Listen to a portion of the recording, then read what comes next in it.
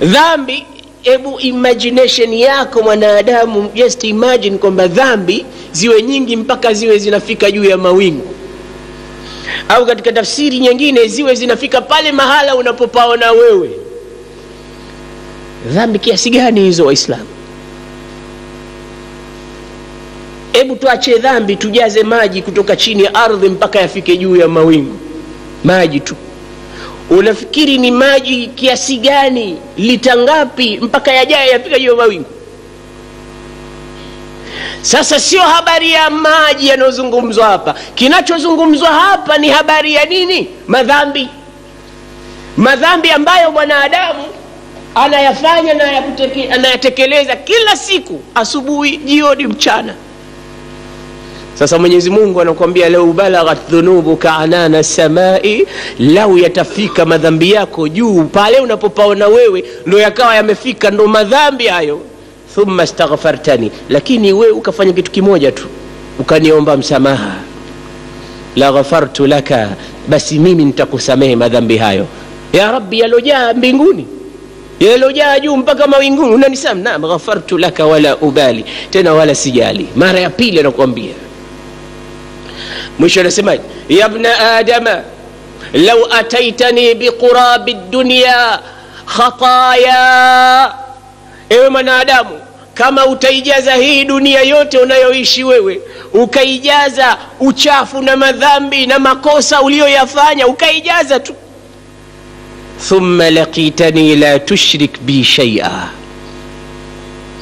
kisha ukanijia na wewe huna ushirikina wala hunishirikishi na kitu chochote la ghafartu laka ala ma kana mink. Anasema la ataituka bimithliha maghfiratan. Umekuja una shirki wewe. Dhambi zimejaa katika dunia lakini uje kwangu na shirki haipo. Basi nami nitaijaza ardhi hiyo hiyo. Wewe umeijaza dhambi mi nitaijaza maghfira kwa ajili yako. Amal. Huyu ndo mola wetu ndugu zangu waislamu yuridu an yutahirana min aldhunubi waladnasi walanjas huyu ndo mungu wetu anayetutaka tuishi peaceful katika dunia tuwe clean kabisa hatuna dhambi. Kwa sababu dhambi ndo adui. Dhambi ndo inatia nuktatun sauda fi qulubina. Kisha mwenyezimungu anapiga muhuri anasema kalla barana ala qulubi ma kanu yaksibun. Dhambi ndo inasababisha kuweka kutu katika nyoyo. Qurani zinasomwa zinasomwa tena lakini hakuingii ndani taalimu zote za mwenyezi mungu zinapigwa teke mtu anachukua taalimu za iblisi na shetani. Basi kwa sababu ya dhambi alati tarakamat fi qalbi. Kwa hiyo dhambi ni uchafu. Na uchafu wowote una madhara. Na madhara yoyote lazima yataleta matatizo makubwa hapa duniani na kesho akhira kwa hiyo solution waislamu ni tauba. Kila uchao toba mtu alete toba tusamehewe dhambi zetu ili mujtamaa wetu upate kuwa msafi. Lakini wapi? Mujtamaa kila uchao unazidi kuleta mabaya na machafu. Utasikia huko njiani wanatangazia "Eh, leo bongo fleva kizazi kipya. Na wanawake wanacheza nusu uchi. Kama na wewe utajitokeza sema hiyo jamani leo itikafu tunakwenda kufanya nini? Istighfari katika msikiti fulani. Inakuwa competition wa siraun baina iblisi wa baina allah na hizbullah itashinda lakini uchafu ndo unaotangazwa. Na kila kukicha vijana wetu wanazidi kuharibika kwa sababu ya nini? Uchafu uliokuwa imported. Ambao katika taifa letu na katika vizazi vyetu na wazazi wetu hawakuuona wakati wa nyuma huko. Leo kila kitu kimeharibika maadili yameporomoka uchafu ndo unaoingia katika kila nyumba ya muislamu kupitia television anasema leo asokuwa na wake aelekejiwe leo ni leo usiku mwekundu. Leo ni leo. Kama hutofika katika kibanda fulani au katika ukumbi fulani tutakuletea huko huko nyumbani kwako live. Utaona. Tauba. Tauba ni kitu muhimu sana. Sasa mtume salllahu alehi wasallam alikuwa akifundisha mambo mengi ya istighfar akatuambia ipo istighfari moja inaitwa sayidu listighfar istighfari hii ndugu zangu waislamu tuitumie kila siku kwa sababu mtume anasema sayidu listighfar likuli shaiin sayid kila kitu kina bwana. Sasa bwana wa istighfari zote bwana mtume saa salam anatutajia hapa anatuambia istighfari hii inayofuata ndo bwana wao istighfari zote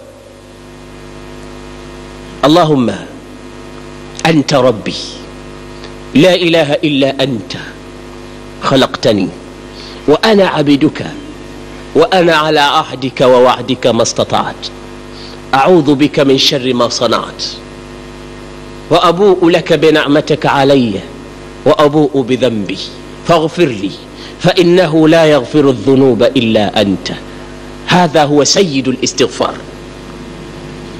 hii ndio bwana mtume salllah alehi wasallam anasema ni bwana wao katika istighfari zote unazozijua wewe hii ni bwana wao kwa nini imeitwa bwana asema man qalaha fi wakti llaili muqinan biha mwenye kuitamka na kuisema istighfari hii wakati wa usiku huku akiwa na yaqini nayo kwamba haya yote anayoyasema amalia na anayatekeleza na ni ya kweli kabisa nini kitatokea? Basi anasema idha mata qabla an yusbiha kana min ahli ljanna akifa mtu huyu aliyoyasema maneno haya usiku afe kabla ya asubuhi basi atakuwa miongoni mwa watu wa peponi moja kwa moja وإن قالها في النهار ناكسيما وكتي واسبوي فمات قبل أن يمسي ناكاف قبل يكوينجي جيوني كان من أهل الجنة فيل فيل تكوى ميونغوني مواتوا وبيبوني وننو اللهم أنت ربي لا إله إلا أنت خلقتني وأنا عبدك وأنا على عهدك ووعدك ما استطعت أعوذ بك من شر ما صنعت وأبوء لك بنعمتك علي وأبوء بذنبي فاغفر لي فإنه لا يغفر الذنوب إلا أنت نيني معنى من الآية اللهم umekaa kitako unanyanyua mikono yako unamwomba mwenyezi mungu uko peke yako nyumbani kwako au uko wewe na familia yako baada salati lfajri mubasharatan unaleta uradi huu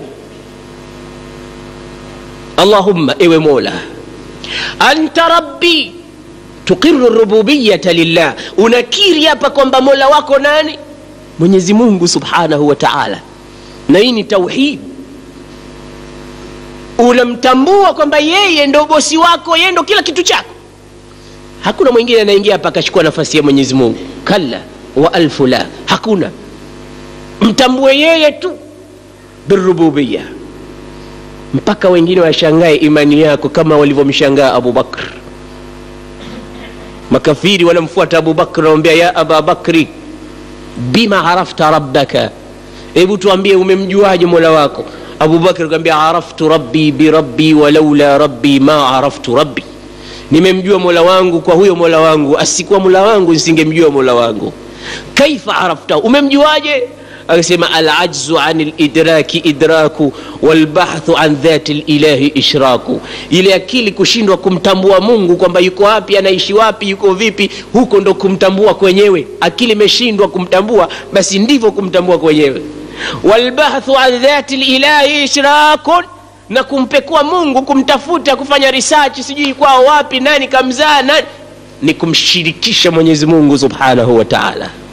Qul huwa llahu ahad lam yalid walam yulad walam yakun lahu kufuan ahad kwa hiyo namwomba mungu naambia allahuma anta rabbi la ilaha illa ant sina mimi mungu mwengine isipokuwa wewe intabih usije ukayasema maneno haya kiunafik kwa sababu wengi tunasema la ilaha illa anta tunamwambia mungu hakuna mola mwingine ninayemtambua isipokuwa wewe. Akimaliza uradi huo anawambia twenzetu kizimkazi kuna pango letu pale tukaombe tupate mtoto. Wesi umesema la ilaha illa anta na huku mapangoni unatafuta nini? Haya huyo utawambia twende kusini mwingine twende kaskazini.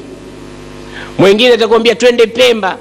Mwingine atakwambia twende mombasa huko kuna mzimu wa babu na wajaddi na wajaddi na wajaddi kabla jaddi. Yule uliosema la ilaha illa anta nani na huyu mzimu nani? Au unakwenda kwa mganga unamwambia nitizamie kesho kutwa anataka kuoa. Ananifaa au hanifai?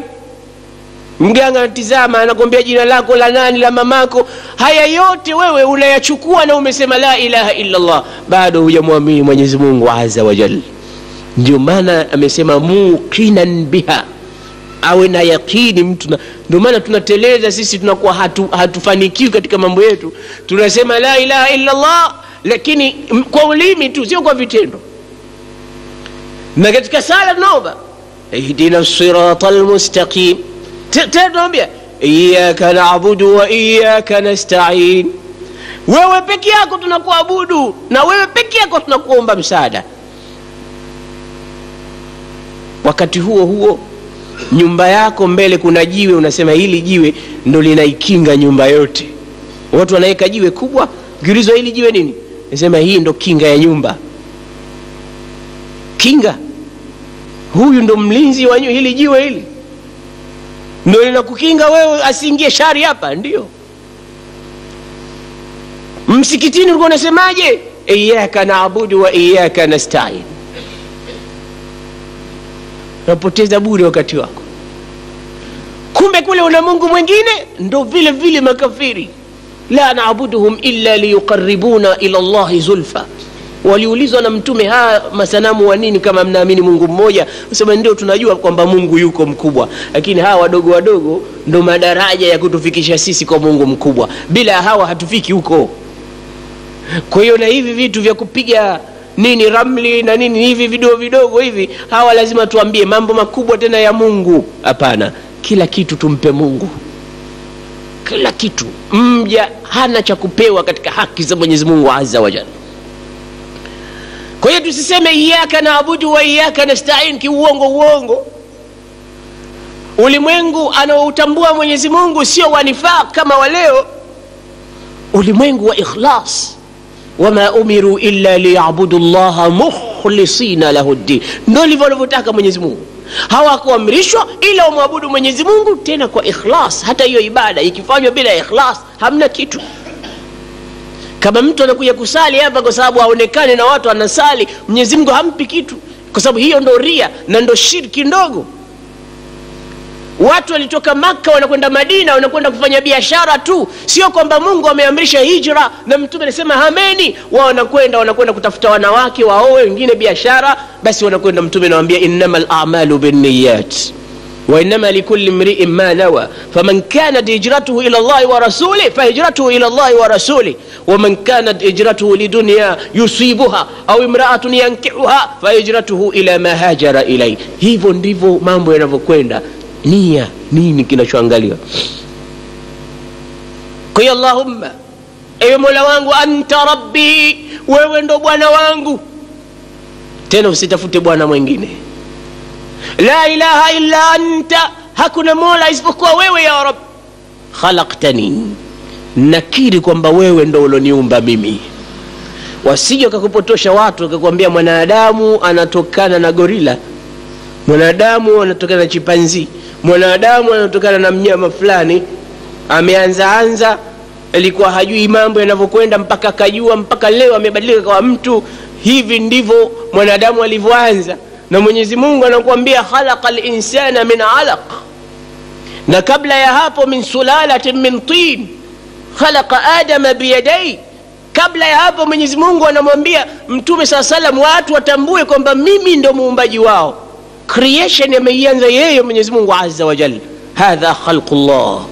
Haya yote ni miongoni mwa mambo aliyoyafanya na kuyaumba mwenyezi mungu aza wajal kwa hiyo unaposema katika sayidu listighfar allahumma anta rabbi la ilaha illa anta khalaqtani. Hapo umetia kilma la ilaha illa anta. Hiyo ni tahlil. Na la ilaha illa llah muhammadu rasulullah. Sisi tunayoingia uislamu kwa ajili hiyo ni kilma zinazotimia saba. Ukizihesabu la ilaha illa anta la ilaha illa llah muhammadu rasulullah ni vilma saba katika tauhid. Kana kwamba inasimama kila kilma katika mlango wa moto wa jahannam kina kukinga kama ulifanya kweli la ilaha illa llah na herufi zake ishirini na saba. Herufu zake ishirini na usiku na mchana ni 24 hours kana kwamba kila wakati unatakikana uwe ndani ya kilima hiki usitoke hata shibri ikawa uislamu wako mguu mmoja ndani mguu mmoja nje la udkhulu fi silmi kafatan basi anta rabbi wewe ni mola wangu la ilaha illa ant khalaqtani وأنا عبدك وأنا على عهدك ووعدك ما استطعت أعوذ بك من شر ما صنعت وأبوء لك بنعمتك علي وأبوء بذنبي فاغفر لي فإنه لا يغفر الذنوب إلا أنت unamwambia mwenyezi mungu maneno haya mwenyezi mungu anakusamehe anta rabbi khalaktani umeniumba wa ana abiduk na nakiri kwamba mimi ni mtumwa wako mimi ni mja wako abdu mja wa mwenyezi mungu na niko tayari kufanya chochote unachokitaka kwa sababu mtumwa yuko tayari kufanya chochote kumfanyia bwana wake. Abduk wa ana abduk. Anta rabbi khalaqtani wa ana abduk wa ana ala ahdik. Mimi ni mja wako ya rabbi na mimi niko juu ya kutekeleza ahadi yako. Ambayo ahadi hiyo nimeichukua kwamba nitatekeleza. Sisi sote tuna ahadi tulichukua waidh akhadha llahu mithaqa alladhina utu lkitab latubayinunnahu linnasi wala taktumuna hii ahadi tulichukua sisi. Wakati gani mwenyezi mungu alipofanya mashi katika mgongo wa adam viumbe wote viumbe wote ambao adamu atawaleta katika ulimwengu walianza kusimama mbele ya mwenyezi mungu na wakaahidi kila kitu sisi sote tuliokuwa hapa tulitoa ahadi zetu mbele ya mungu wakati kabla hatujaja katika dunia. Na wale waliopewa vitabu waliopewa elimu na kila mmoja akachukua ahadi kwa mungu kwamba atatekeleza ahadi hiyo wala hatoificha ahadi. Ndio maana huyu anasema ana abiduk wa ana ala ahdik wa waadik mastatatu. Kwa muda na kwa kadri nitakavyoweza na hakikisha kwamba nimetimiza ahadi niliyoahidi mbele ya mwenyezi mungu أعوذ بك من شر ما صنعت يا رب نجيكينغا كوكوهيو كتوكانا نشار يليو يتيندا هو أنا من آدم كما كفاني ما مذنبي نكيلا من آدم ونفانيا ذنبي وإسلام بك أستجير ومن يجير سواك ارحم ضعيفا يحتمي بحماك إلهي قد أذنبت فاغفر زلتي anta lmujibu likuli man nadaka. Mmoja anamwita mwenyezimungu anaambia ya rabbi bika astajiru. Ya rabbi najikinga kwako. Waman yujiru siwaka. Na nani anayeweza kumkinga mja wake isipokuwa wewe ya rabbi? Ya rabbi qad adhnabtu. Ya rabbi nimefanya madhambi. Faghfirli basi nisamehe. Adhnabtu. Nimedhambi nimefanya makosa makubwa. Basi anaomba kwa kutadhalal mmoja anasema قصدت باب الرجا والناس قد رقدوا وبت أشكو إلى مولاي ما أجد. وقلت يا أملي في كل نائبة يا من عليه لكشف الضر أعتمد. أشكو إليك أمورا أنت تعلمها ما لي على حملها صبر ولا جلد. لقد مددت يدي بالذل مفتقرا إليك يا خير من مدت إليه يد. فلا تردنها يا رب خائبة فبحر جودك يروي كل من يرد. أسمى قصدت باب الرجاء. نمو كسودية ملانغو وهوب لما تمايني هو ملانغو ومونغتو والناس قد رقدوا نوات وملالا wabitu ashku ila maulaya ma ajidu. Na leo nimelala usiku kucha nashtaki kwa mwenyezi mungu maulaya ma ajidu. Yale yote yanayonikumba miongoni mwa matatizo. waqultu ya amali ningesema ya rabbi ewe tegemeo langu fi kulli naibatin katika kila kinachotokezea kila kinachonisibu. Ya man alaihi likashfi dhurri atamidu ewe mola ambaye nakukusudia wewe katika kuondoa madhara na matatizo ashku ilaika umuran. Mimi nakushtakia mambo anta taalamuha hakuna mwenye kuyajua ukubwa wake na uzito wako isipokuwa wewe ya rab. Talamuha. Mali ala hamliha sabrun wala jaladu. Mimi sina subra wala ushujaa wa kuyabeba hayo. Kila mtu akikumbuka dhambi lake linamtia wasiwasi katika nafsi yake. Mwislamu wa kweli ni yule ambaye akikumbuka siku fulani mimi nilifanya kitendo fulani akasawijika uso wake na akaanza basi huyo ni mwislamu wa kweli. Mtume anasema idha saratka hasanatuka wasaatka sayiatuka fa anta mumin. Likikufurahisha jema ulilolitenda wakati huo ukikumbuka ah, siku fulani nilifanya kitu fulani ukafurahia. Wasaatka sayiatuka na likakuchukiza ovu lako ulilolitenda wakati wa ujahilia au wakati wowote unakumbuka una rikoli unaona ah, kitu hiki mimi nilifanya. Basi ukawa unasawijika kwa kukumbuka wakati huo. Basi fa anta mumin we ni muumini wa kweli. Lakini tunafurahia makosa tunayoyafanya uislamu. Tunafurahia tena tunasema kwa, kwa furaha kwamba ah, bwana enzi hizo mie nikitwa chinja chinja.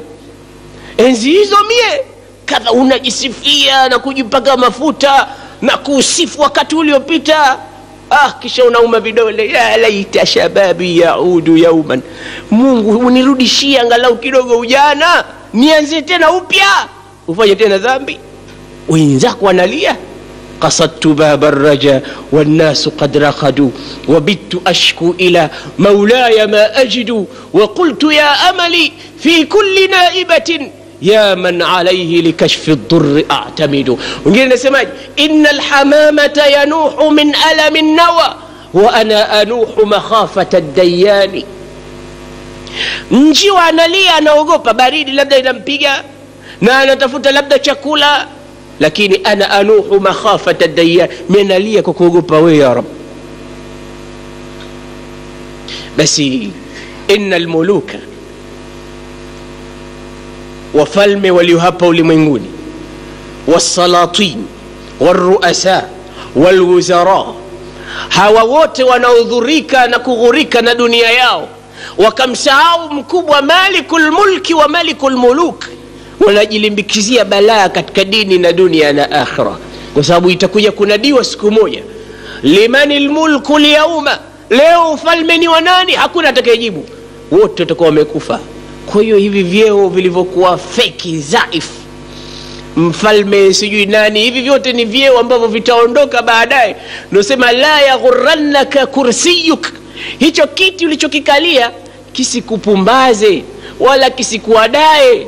Falau damat lighairika ma wasalat ilaik kama kingedumu kwa yule aliokuwa kabla yako basi nawe usingekipata. Maadamu umekipata wewe alikuwa hapo kabla yako na yeye kaondoka ndo ukaja wewe sasa na wewe utaondoka siku moja itakuja mwingine وكل بن أنثى وإن طالت سلامته يوما على آلة حدباء منقول فإذا حملت إلى القبور جنازة فاعلم أنك بعدها محمول ukibeba janaza kupeleka makaburini jua kwamba itakuja nawe dauri yako nawe utabebwa utapelekwa kaburini kwa hiyo hakuna kitu duniani kinamfanya mtu ababaiki au ni duniani amekita mizizi ndo haondoki lazima akiri kwamba kuna aliyekuwa mkubwa kumliko yeye anta rabbi ndo aseme yeye mfalme lakini anasema anta rabbi wewe ndo bwana wangu la ilaha illa anta khalaqtani وانا عبدك وانا على عهدك ووعدك ما استطعت ابو أعوذ بك من شر ما صنعت.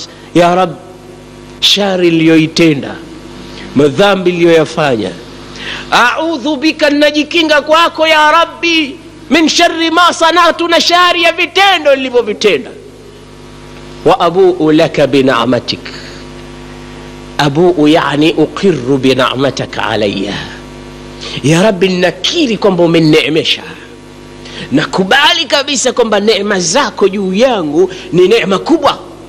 Umezineemesha lakini wapi hizi neema? Hatuzioni athari yake waislamu.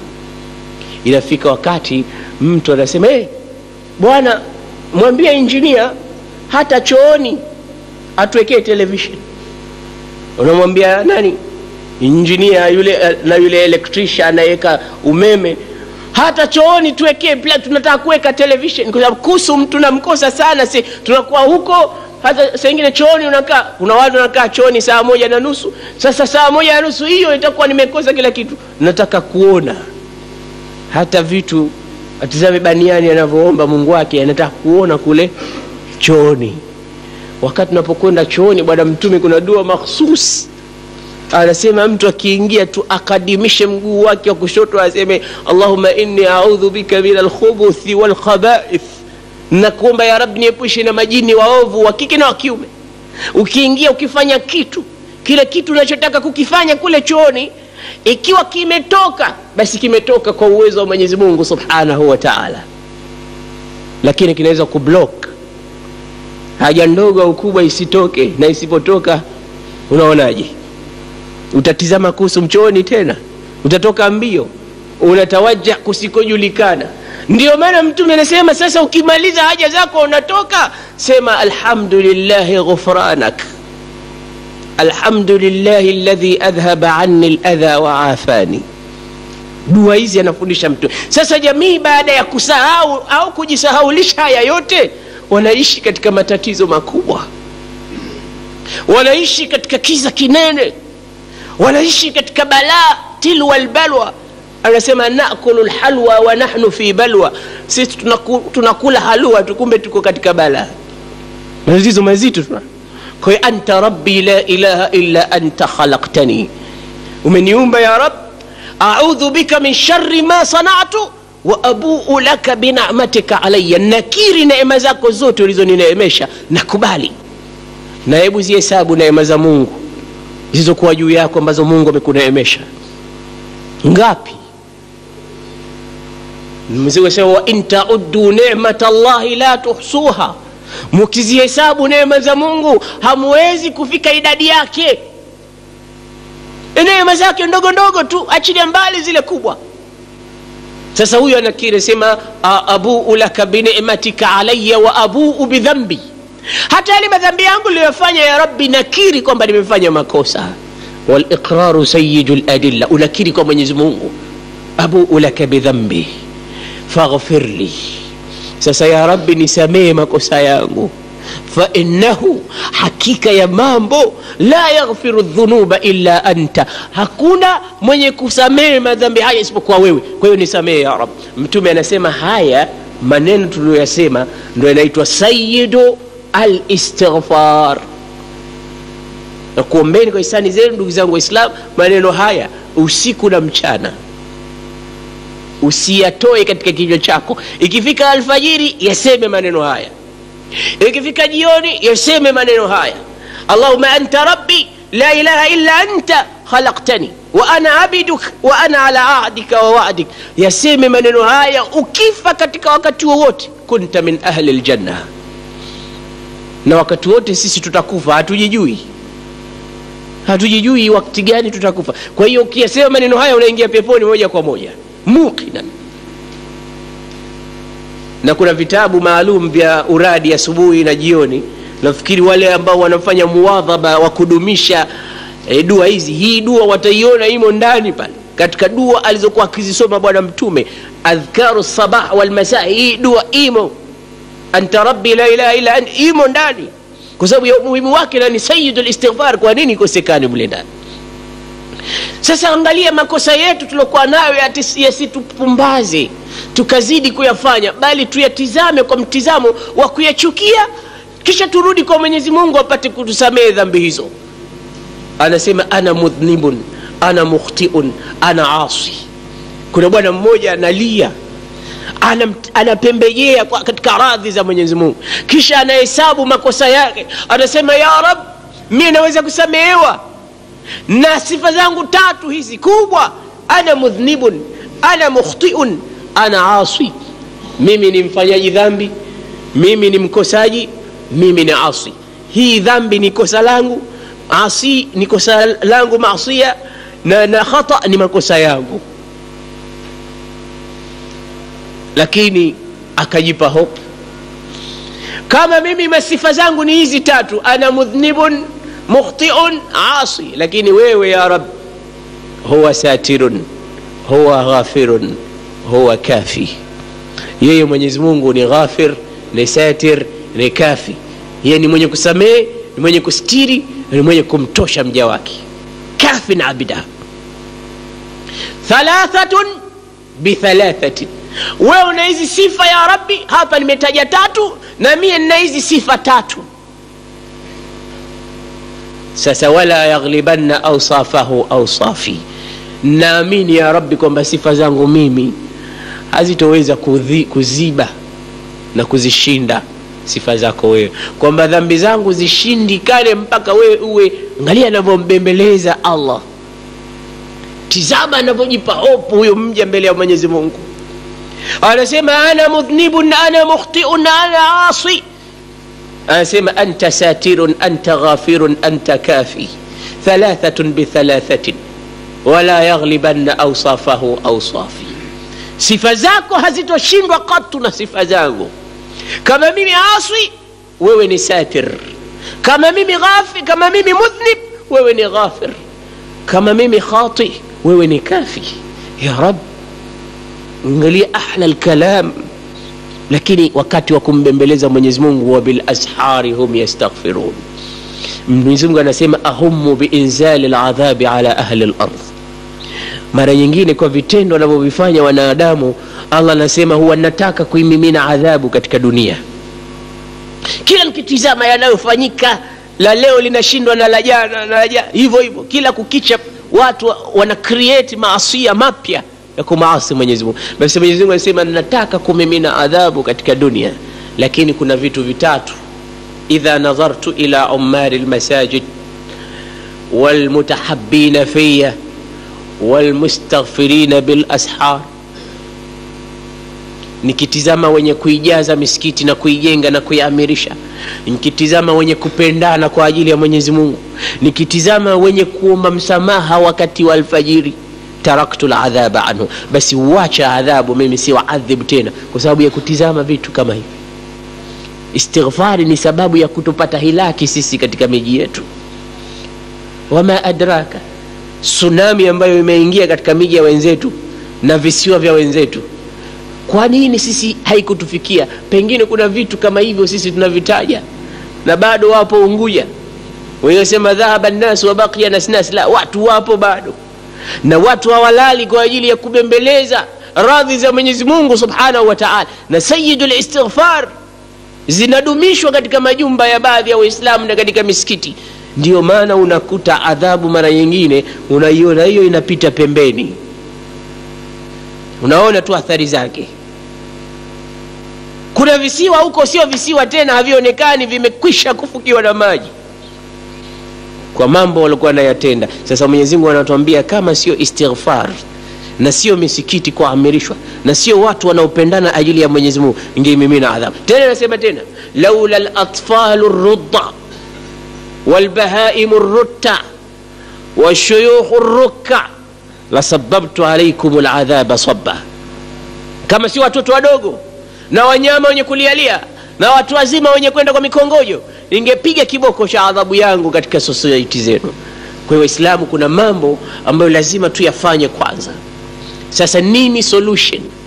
Ndoa zetu jamii zetu maisha yetu kama ya kiislamu tunavyokuza watoto wetu na kuwalea tunavyoishi na jamii zetu wazazi wetu majumba yetu yanapoporomoka. haya yote insha allah yatakuwa maneno tutakayoyazungumza katika darsa ambazo zitahusu jamii na mwenyezi mungu ajalie tuanze bidayatu khair na nihaya iwe nihayatu khair allahuma